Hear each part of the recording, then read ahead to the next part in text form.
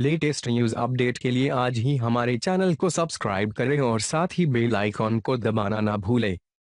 भारतीय cricket team के कप्तान विराट ने हाल ही में अपने इंस्टाग्राम पर पत्नी अनुष्का की एक बेहद प्यारी तस्वीर शेयर की है।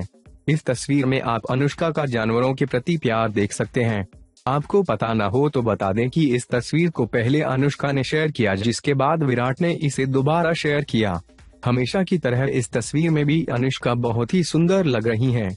वायरल हो रही इस तस्वीर में अनुष्का ब्रिटेन के एक व्हाइट कुत्ते के साथ खेलती हुई दिखाई दे रही हैं। अनुष्का इस क्यूट से कुत्ते के साथ खेलने के अलावा बहुत प्यार और लाड से पुचकारते हुए भी दिखाई दे रही हैं।